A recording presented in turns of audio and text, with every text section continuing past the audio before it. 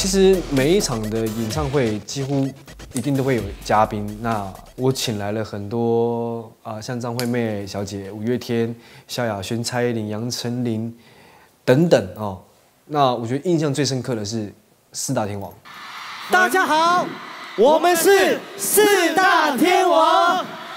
我是四大天王的罗志祥，今年十五岁，我是队长，我模仿郭富城。当我知道你们相爱，有了开始，有了未来。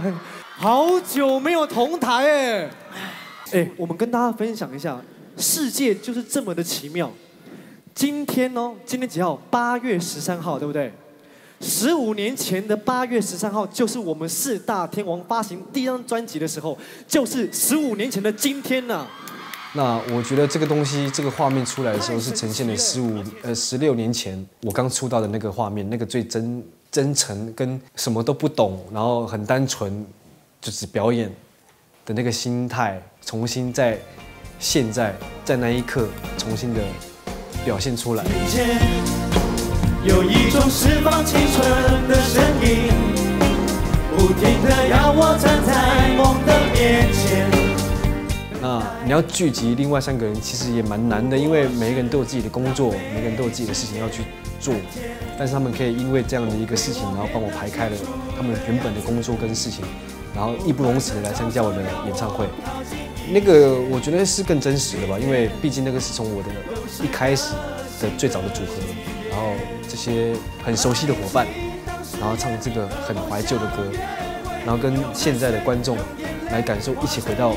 十六年前，这四个年轻小伙子所唱出来的《恰恰无事》。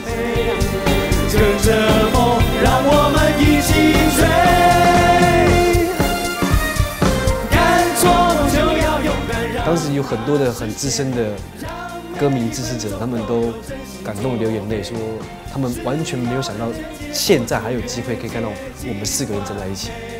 我觉得那个是一个我印象比较深刻的家。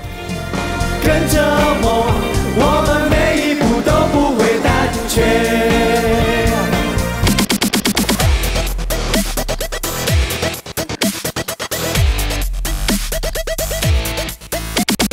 那奶奶非常的可爱，然后住在英国，然后不管是我签名会、大型的演唱会也好，她都会来看我。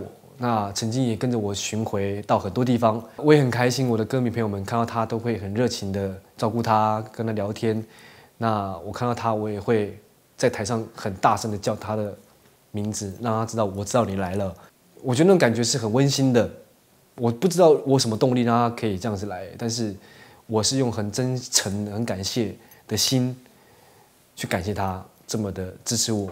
甚至他可能也不知道我唱的歌词的内容是什么，可他可以跟着我的音乐的节奏，或者是抒情歌的旋律，跟着摇摆也好，或者是。哼哼的那个旋律，我觉得那感觉是我很感感动啊，就觉得非常的感谢他。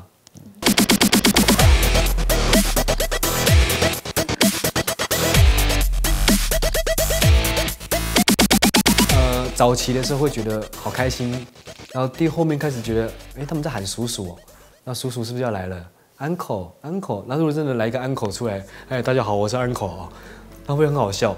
那到后面呢，就觉得他们都知道，其实我会追出来的，所以，所以我都觉得他们也是一个很好的工作伙伴。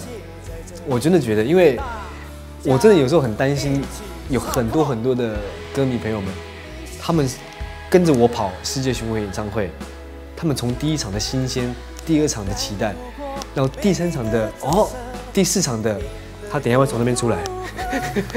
第五场呢，他下一首歌唱《爱不单行》，第八首歌开始玩简讯，啊！谢志祥，加油加油！他们都知道什么时间要干嘛干嘛干嘛干嘛，我很很担心他们会看到腻啊，我都会访问他们，你们会腻？不会腻，因为你每一场都给我们不一样的视觉效果。是我刚刚所要表达出来的。你要我传达我这次演唱会要给你什么？我不知道，其实，因为我不知道我在台上会怎么样。十八种舞蹈，有没有可能变了二十种？我也不知道，我可能临时又来了一个什么。香港演唱会有一场很经典的就是，本来要安口要谢谢的，拜拜了要走人了，他们还是一直讲拜托拜托再来再来，我就来了一段舞蹈的 battle，dancer 的介绍，以及我的一些从小到大的一些心路历程变成 rap，然后后来一个人的 solo 什么的，他们也是觉得哎这是新的感觉没看过的，所以我很难告诉你我五极限会到什么样的程度，我很抱歉我说不出来，我只能告诉你你来了才知道。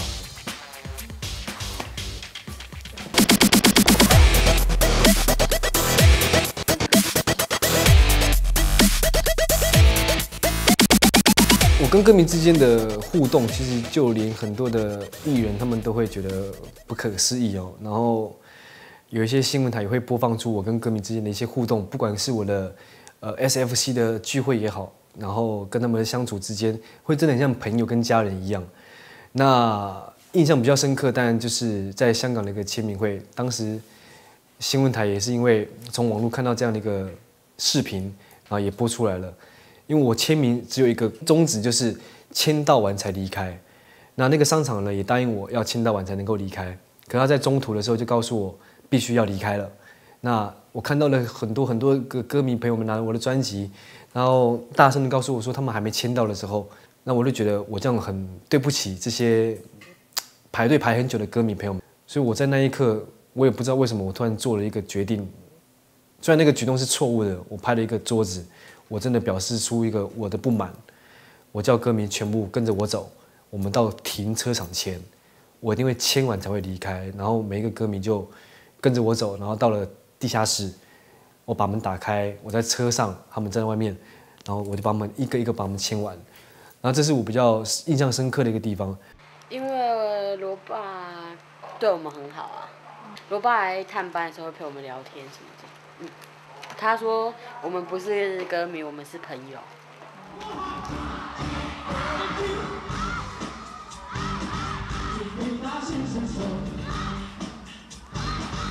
那一次我跟他去跑内地的宣传，然后我后来我生病了，他每一天都有来问我说：“哎，有没有看医生？有没有吃药？有没有好一点？”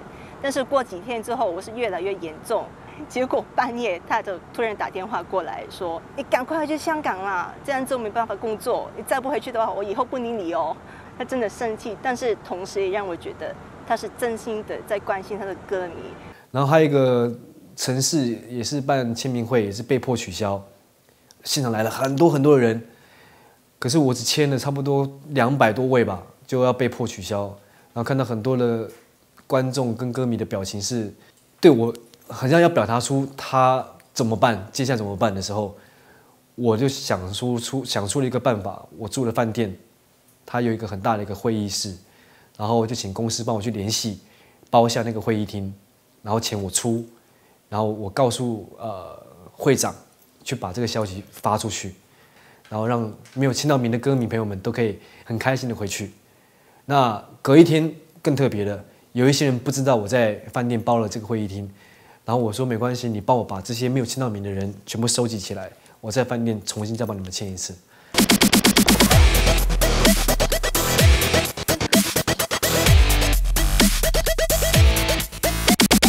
我不觉得我当天有点冲动，我相信每一个人如果听到自己的妈妈或爸爸被攻击的时候，尤其是用那样的字眼去攻击你的家人，应该没有人可以忍受得了。对我们是艺人，但是艺人就该承受自己的家人被骂吗？那如果今天我不去阻止他，或者是请他跟我道歉的时候，是不是以后这些人看到艺人，他就可以指着他的头骂他的家人？那我们做子女的，这样不觉得都没有保护自己到自己的家人？我觉得这不是丢谁的脸，我是丢我家的脸，因为我家只有我一个小孩，我该站出来的时候，我就应该站出来，保护我真正爱的人，啊，保护我该保护的人。我不会因为这样会影响到什么，我反而觉得。我因为这样子，让别人更懂得去尊重别人。哎那，其实呢，最近呢，那个罗妈妈身体啊，要比较微恙一点点，哈，身体稍微，所以呢，她特别托我了，带了一个东西来。什么东西？看一下就知道。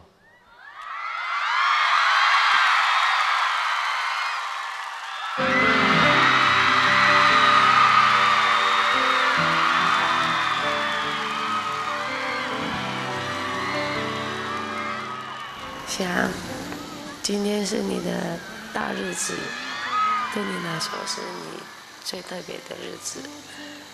有些妈妈要不太敢跟你面对面的说，因为你会觉得让我说妈妈很恶心。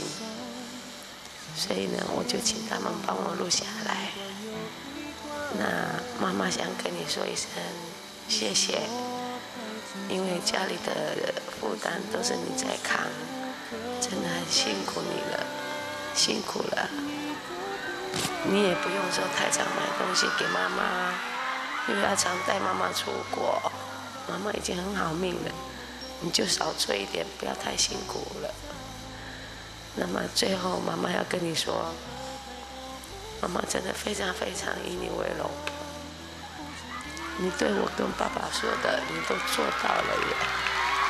邻居都说我很会生，生一个这么孝顺的儿子，金价你家高的。这几天做梦如果梦到爸爸的话，我会跟爸爸说，你真的是多烦恼的。一个宝贝儿子，比你还疼我。这是我妈妈要跟你讲的一句话。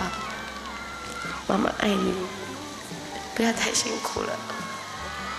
好可惜哦，妈妈居然在这这么重要的一一天，妈妈居然生病了，不能来帮你加油。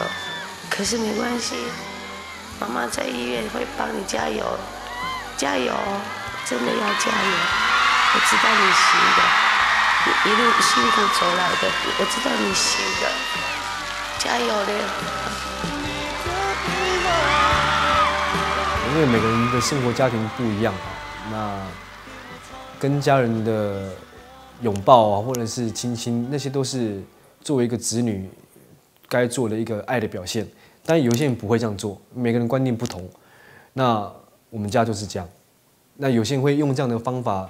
用这样的文字去扭曲说你这样就是啊怎么样怎么样怎么样，但是我用我妈妈说了一句话：你小时候没有喝过母乳吗？哦，那意思是一样的。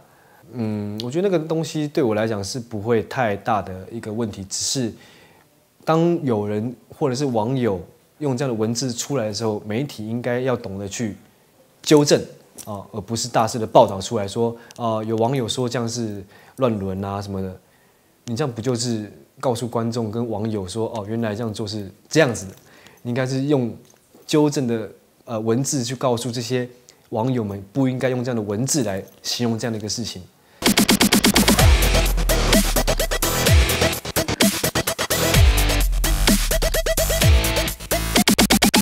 二零一三年的演唱会，我觉得这是一种重生的感觉，因为二零一二年充满了太多的。怀疑、恐慌、恐惧，以及很多的传言。那当二零一三年到来的时候的那一天，我在一月四号、一月五号举办了我的演唱会《无极限》，那也是一种人生的开始。我觉得，我们就当做是这个世界重新再来了一次。那很开心，在二零一三年你们看的第一场演唱会是罗志祥的演唱会。我希望可以在里面可以感受到很多正面的能量也好，以及欢笑，以及我想要表达的很多的一些。呃，点点滴滴，在这个演唱会里面，短短两个小时里面去跟大家做一个分享，希望你们可以来，来感受一下罗志祥的无极限。